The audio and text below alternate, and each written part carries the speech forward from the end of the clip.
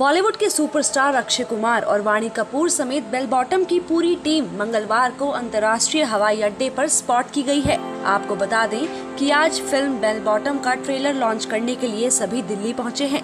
अक्षय कुमार की जासूसी thriller film अब 19 अगस्त को सिनेमा घरों में रिलीज़ होगी। वहीं दिल्ली पहुंचकर फ़िल्म बेल बॉटम की पूरी टीम ने फ़िल्म के ट्रेलर को लॉन्च किया है। साथ ही साथ मीडिया से बातचीत भी की है।